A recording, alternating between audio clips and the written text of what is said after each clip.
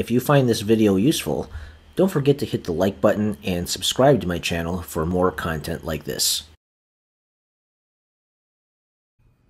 For this part of the tutorial, I created a brand new refinery project from scratch because I was having too much trouble working on top of an existing application. I wanted to give refinery a chance in a very pure out-of-the-box state. My goal here is to try replicating my original website's landing page by overwriting refinery's view templates and then transposing the slim code from the previous website into the new one.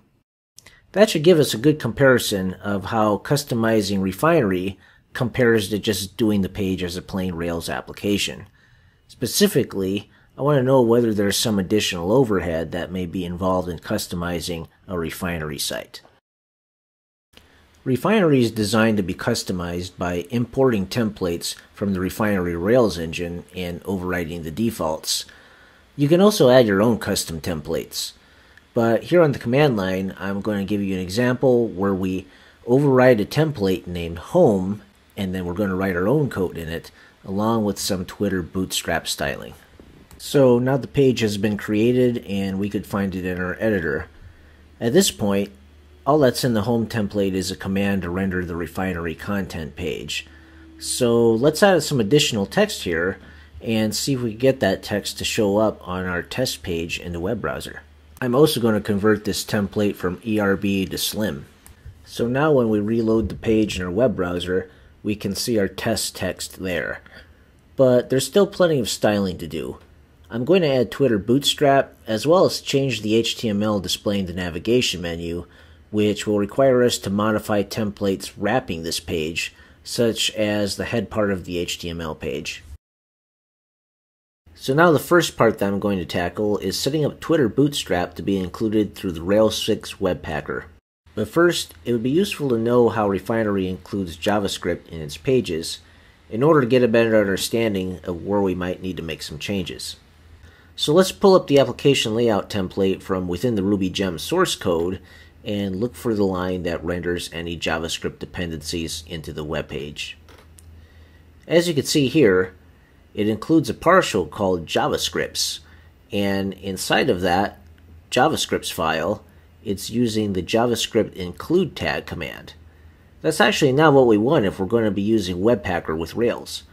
JavaScript include tag compiles JavaScript using the somewhat deprecated asset pipeline feature, and what we really want is to change that line to JavaScript pack tag to pull in the JS deliverable compiled by Webpacker. So first we're going to use the command line to copy that JavaScript partial into our application and then we're going to modify it to include the Webpacker deliverable. By the way, I didn't play around with Refinery long enough to find out if there were any side effects from removing the reference to the old asset pipeline. Just be aware that at some point you might run into a dependency issue when making this sort of change. The way I'm adding package JavaScript dependencies to this application is through Yarn. So I'm doing yarn add bootstrap jQuery, and Popper.js, which is everything you need to install Twitter Bootstrap. This will update my package.json file and add the package files under my node modules directory. Next, I want to add the require statements referencing those modules in my pack slash application.js file. And see that import application SCSS reference at the bottom? That refers to a styling page I'm going to create, which will import the Twitter Bootstrap style sheets. I'm also going to add some of my own styles in a file called theme.scss. So I tried loading the page to see if the style is updated, and I got this error message about the incorrect Sass loader. After struggling with this problem for a few hours, I finally figured out that was because I ran yarn from my local console to install the dependencies and not from within the Docker container. Redoing the yarn install command, but from within my Docker container seemed to do the trick. And now the styles load and the page works as expected. But there's still more styling work to do. Next, I'm going to change that navigation menu to match the one on my original website. The way we're going to approach this is to first hardcode the HTML layout in the view template using Slim, so that way we have the look we want, and we could confirm that, and then we'll convert that code to dynamically build the menu using Refinery's internal data. As a precursor to modifying the look of the navigation menu, I went ahead and created a new Refinery template called Landing and made that look just how I want for the site's landing page. This page I anticipate being a little different from the other pages on the site, requiring a lot more fancy custom HTML. Rather than trying to code that from within the confines of Refinery, I just went ahead and did it in Slim. Now let's have a look at the Refinery gem source code to find out how it loads the menu. Inside of the application layout template, there's a reference to site bar. That loads the Refinery administration bar at the top of each page if you're an administrator and you're logged in. But just below that, there's a call to Refinery slash header, and if we look in that partial, we can see that it's where it builds a navigation menu by calling an object called menu presenter. When we look inside the menu presenter class, it has a series of methods that iterate through the menu items using Rails helpers to build the appropriate HTML tags for the styling library being used. The refinery documentation provides us a guide for making our own menu presenter. However, it's done for Foundation, and we want to use Twitter Bootstrap. So let's go ahead and build our own menu presenter class that we can use in this header template. Here's a look at the HTML being generated by the default menu presenter.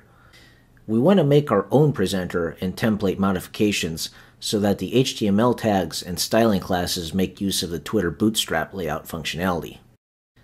So first we're going to import the header template into our project using the refinery override rake task. Next we can start changing around the template. Let's go ahead and change the default company name to reflect the name of our website. And I'm going to do that by changing the tags over at the top part of this header. Notice that I'm incorporating the nav and navbar HTML elements because the site title goes into the menu bar when you're using Twitter Bootstrap. I've also changed the template type from ERB to Slim.